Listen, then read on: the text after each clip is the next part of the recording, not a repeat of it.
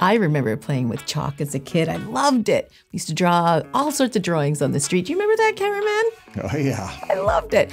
Never did I think, years later, we would be putting chalk in our nails. I mean, I get it. It might save money, but it's a lot of work. I'm going to ask an expert the question Can we use chalk in our acrylic powder to generate a whole bunch of color? And I'll be using my white and gold brush and my crystal dish for monomer. Available now at nailcareer.com. Welcome, Jim. Hi, how are you? Hi, Suzie. I'm well. How are you doing? I'm doing great. So I have asked you to come on my channel again because we have another question for myself and the viewers. A lot of people are taking chalk and grinding it all up into a fine powder and adding it to their white or clear powder, combining it with monomer and making nails to simulate all these colors. And I get why they're doing it. They're trying to save money to expand their acrylic color collection. Can we do this? Is it a good idea? Chalk is natural. What do you think? Chalk is natural. I, I think that you're going to be fine putting it into acrylic. I would not advise using it in a gel, but in acrylic at a low concentration, you should be fine. Really? Okay. Yeah. So my concern is I was wondering if you would say that. That's why we thought we'd have you on. My concern is putting it in an e file inside of a dish and then grinding it up, that big plume of chalk. Is that a bad thing to be breathing that in? No, it's an irritable dust, Really? but as long as you're not you know breathing in a lot, Mhm. it's not something dissimilar to what you might experience in a windstorm, how it blows dust across the road. right. Okay. Right? Right. So if you did it Or- constant, it would irritate. Or, you know, your kids, the teachers, when we were kids, we had chalkboards, not dry erase boards, and those kids would go outside and slam We the used to do that. together to clean them. Yep. Similar. Okay. Chalk is made out of calcium carbonate, which is a really, really soft rock. Right. Calcium carbonate is also a product that's used in Tums and antacid. Yeah. And so we digest calcium carbonate regularly, some of us more frequently than others. So if that's the case, digesting this or inhaling it, it really isn't going to be that much of a big deal. Really? I wouldn't suggest it for long periods of time, Yeah. but for short periods of time, you'll be fine. Now, if you put too much into the acrylic, what it could do is throw off the curing process That's my concern. and it could make the finished product weak. Right. But we always put in, some people are putting in like glitter into That's acrylic true. powder, right? we do. That would do the same thing. So as long as you don't exceed concentrations of glitter that you'd normally put in, which should be somewhere in that 3 to 5% range, you'll be perfectly fine. So it's really kind of no different than when we're adding pigment powders to our white acrylic powder. It's really the same if we're adding the chalk. Same, same. This is awesome. Every time I've asked you if we could do something, usually it's a no. but this time you've actually said yes. You've made my day. You made our day. saying yes. I think that's awesome. Well, I think a lot of people are going to be very happy about that because my first reaction was nope. But then I thought, I'm so glad that we asked the expert. I'm glad you called. I am too. My Thank you so much. That was a good question to answer. I think that would help a lot of people if they're wondering. And me too. I learned something. And you know what I'll do? Yeah. I'm going to buy some chalk. Yeah. And then I'll run it through the lab. Oh, and Okay. we'll make sure that it works. And if Really? I find something, anything other than what. I have just told you, I'll call you. really? Okay.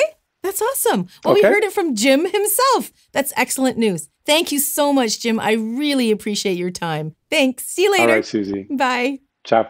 Bye. Well, you know what that means, you guys. We heard it from the expert. That means I'm going to do a set of pastel chalk nails.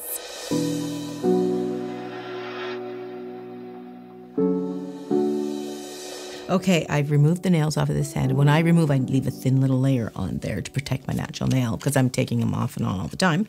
And we are going to select a color here. Let's start with, I think, this really pretty purple color. Now, he did say not very much. The do's are we can do it, but the don'ts are don't use so much because that is going to interfere with the curing process.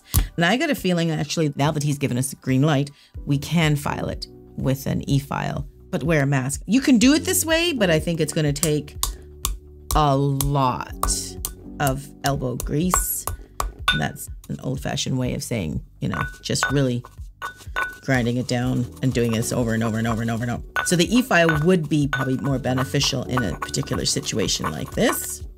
You could maybe try a coffee grinder. Ooh, Cameraman, go get me your coffee grinder. I like to keep the coffee clean. This is natural. A It little bit of it'll be purple coffee. Yeah, I like my coffee black. okay, so I'm going to pour this purple into this dish.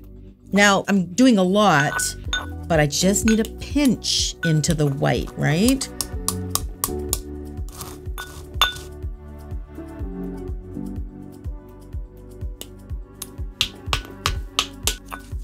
I'm shaking the whole place here.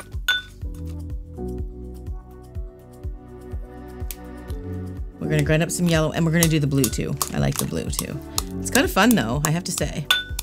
It's a lot of work before I even start doing the nails.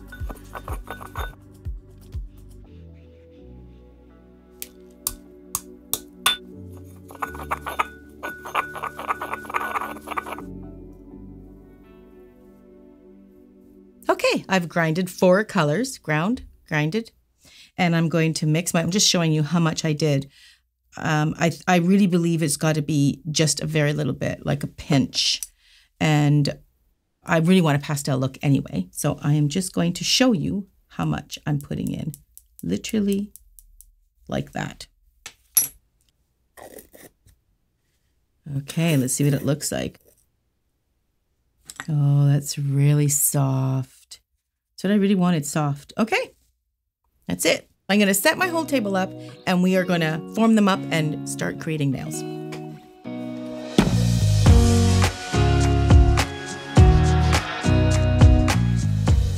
Okay, so my nails are buffed up, ready to go. I did have to wash my hands because I got chalk everywhere and it's all over the table and all over me apron. Good thing I was wearing one so it doesn't ruin my shirt. Okay, so with any good system, use your prep and prime. So I'm just going to put my Let's Prep on.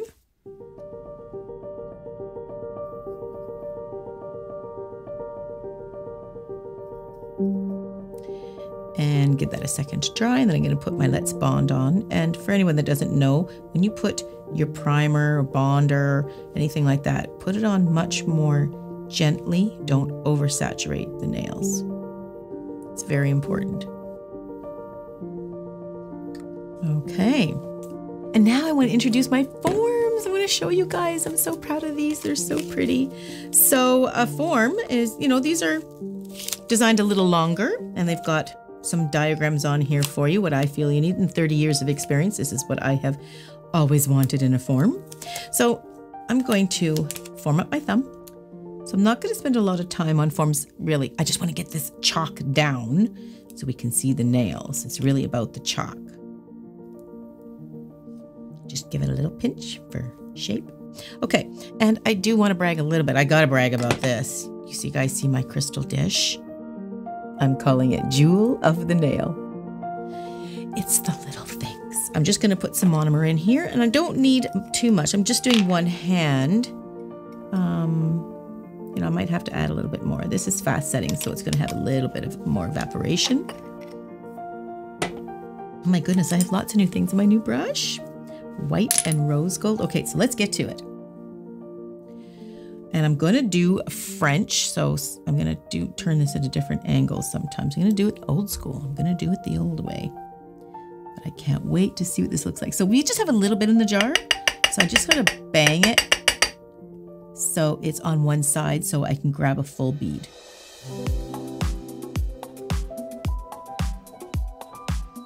Because there is chalk in it, I would imagine I might have to work with it a little bit wetter just because the chalk might absorb and change the liquid to powder ratio. At least it might feel that way a little bit.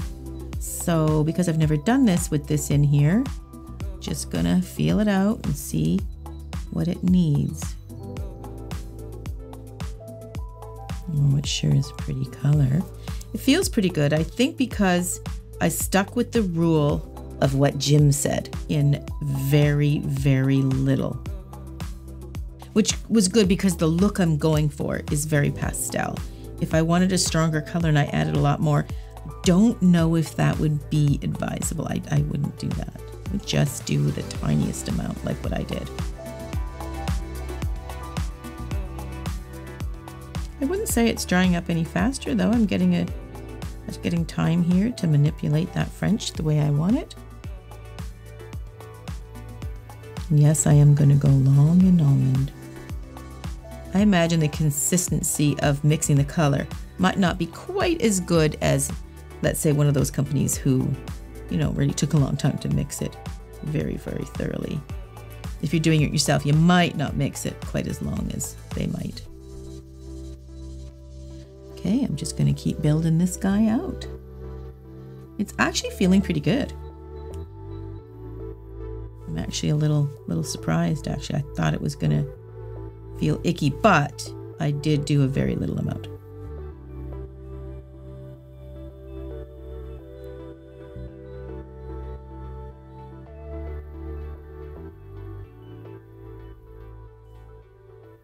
So, what's the consistency like in comparison? It feels pretty good, I think, because I put very, very minimal amount in. Like if I put a lot more, I think it would really feel different. Right. But because I put so little in, it doesn't feel really too much different, to be honest with you. But I do notice that because it's not perfectly mixed by machine or maybe long enough, or you do get inconsistencies of Right. I see color. little patch. That's patches, exactly so- right. Yeah. So that could have been. I mean, I really ground it up, and you ground it up. So between the two of us, we really, you know, Well, maybe we should have used the coffee grinder yes, Sorry. and had yellow coffee for the next. or an e-file. I don't drink coffee, but Caraman and Oh, he's yeah. very, very particular. Or an e-file. Yes, I could have definitely used the e-file, but I didn't do that either. Yeah, see, when I do these little points up the side, that would roll a bit easier, I think, with the acrylic, a little more detail, a little more finer, but it's not doing it as easy with this in it. But that's not really worth enough to not try this. You know what I mean? Like it's just a small sacrifice to try it. And that's if you do your Frenches this way. Okay. And I'm going to go longer. This is too short. I really want to see the color. So we're just going to add.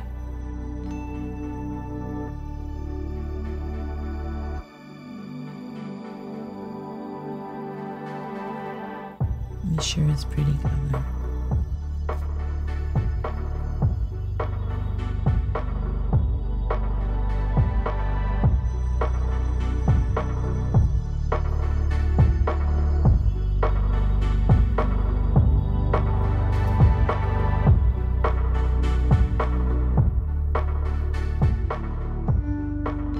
There's a big clump of yellow. I'm going to take it right out of there and see if I can get a smoother patch on top of there. Maybe after squishing, we had to whisk it or something to blend it more. Well, then that's what a, an e-file or the coffee grinder would have been good. On the other hand, maybe it creates a nice uneven. Yeah, it can look like a little marbly look. Yeah, yeah. Yep. Depends on what you're going for. That's the word I was looking for. Marbly. Yeah. I don't think that is actually a word. Marbly. Marble. I make words up. Marbled would probably be the way to say it. Super pretty. Mm-hmm. I love pastel yellow, but I'm not supposed to wear it. Doesn't go good with my skin tone. It I have a green tinge to my skin, so it you know like olive, and it was much better when I was younger. But when you're um, a bit of a greenish tinge, yellow isn't. Here I am wearing a vintage kind of creamy shirt. Okay. Well, I think it's really pretty. Okay, so I'm going to switch my yellow out. And just to complete this nail so we can move forward on all the other colors, just so you know what I'm doing, I've got a mixture of my foundation pink and my pink tint. It's about 50-50. And I'm going to do the nail bed part, the nail plate.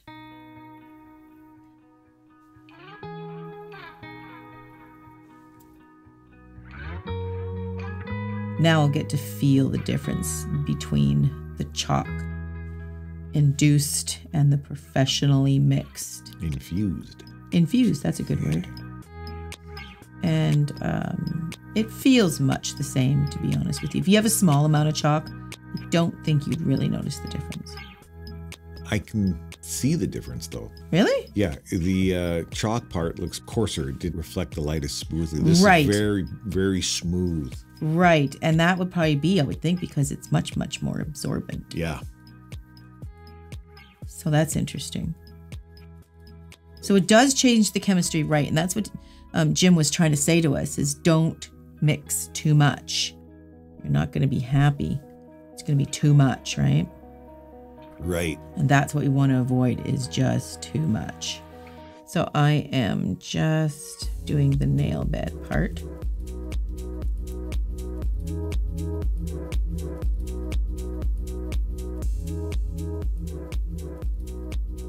That color's pretty, they go good together. And then I'm going to cap it with clear. And just more or less in the arch area, in the apex and a little bit over top of the chalk, the chalk free edge, just to protect the color and to make it strength stronger because I don't know if the chalk will weaken it a little bit. And I suppose it will a little bit. And you probably could just leave it, but I always clear cap. I shouldn't say always. I mostly clear cap. And just right in there, and if anybody wants to know that particular method, I don't go down to the cuticle. It's just in this uh, apex area. I really focus on that, and then I'll bring it over top of the whole thing. Just a nice, simple coating. Okay. There you have one chalk nail. Okay, I'm going to go ahead and do the other colors.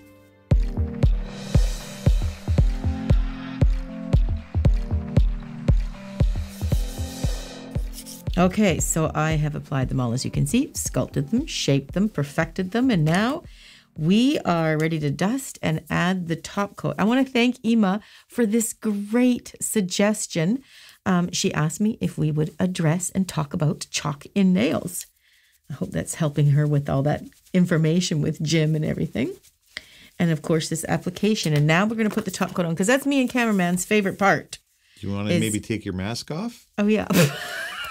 I am so Don't used to wearing a mask as a nail technician and of course with everything that's going on right now, I'm really used to it. Okay. So, let's put on the top coat cuz like I say, that is our favorite part.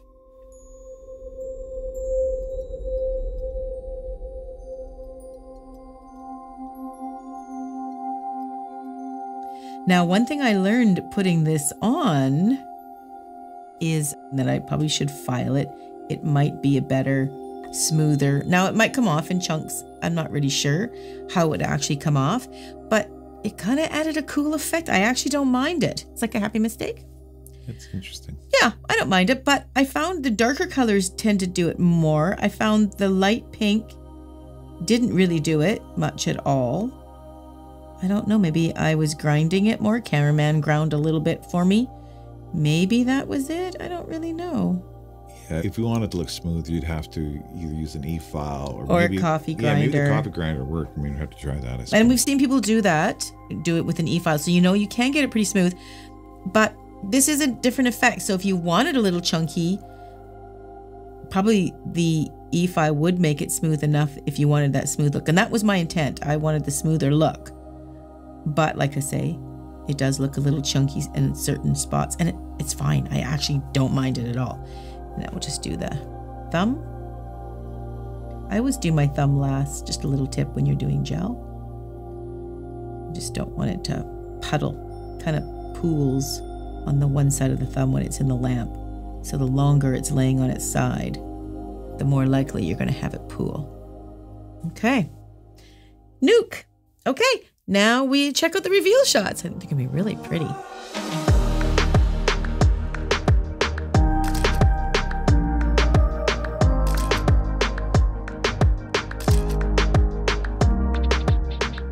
Would have thought chalk a childhood memory would look so good in the nail. Jim did get back to me. He did test it. He said using about 5%. So just a pinch. So we were on target with just using a very little bit, and you can see the color is gorgeous.